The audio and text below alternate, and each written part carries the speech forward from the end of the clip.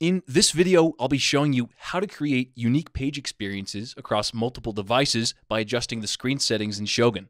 Let's get started. It's vital to create a positive web experience for all of your customers, and curating your content to look and function well on any device is a huge piece of that positive experience. There are four primary screen types your customers will use to view your website. These are the same four screen types that Shogun allows you to customize content for widescreen, desktop, tablet, and mobile. Currently, I have a template product page pulled up as an example. And from the top, I'm able to select from the four different screen size options to adjust and curate my content. Notice how the content changes as we go from something like a widescreen view to a mobile view, a tablet view, or a desktop view. So in this example, just looking at the layout of the page itself, I like how the content is placed in the desktop view the best. I know from looking through the various views that I want to adjust content for mobile just to make things a little bit better for my mobile viewers. Again, by clicking on the mobile button at the top, I'm brought to a mobile view. It's important to note here, though, that if you simply edit something in this view, it will directly apply to all of the other views as well. In order to edit an element exclusively for a specific view, click on the element that you want to customize, go over to the right hand side, over to the editor, and over by the exact metrics you want to adjust, you'll see this small screen indicator.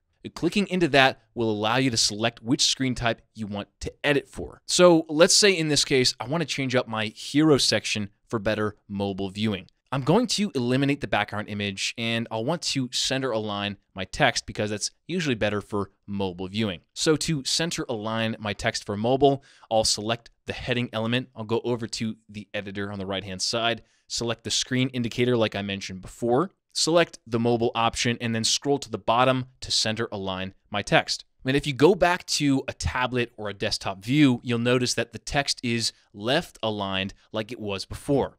Remember, this is because we selected and edited the mobile experience exclusively. Now, on my mobile page, I'm also not too keen on how the products are spread vertically. I want to change this up for mobile, and instead of just trying to change things around for the current product section, I'm going to hide it completely. So to do this, I'm going to select the product section, head over to the element editor, select styles, scroll all the way down until I see the visibility toggles. Now, these toggles allow me to hide specific elements from any screen view. So for example, since I don't want this vertical product section here, I'll select the mobile toggle, and there you go. No more vertical product section for my mobile viewers. And when I go back to my desktop view, you can see that the product section is still there for all of my desktop viewers. Remember that these are very specific examples of what you can do, but the big principle here is to make sure that you're customizing all of your elements for each view. And doing so will give incoming customers a much better experience and a much better way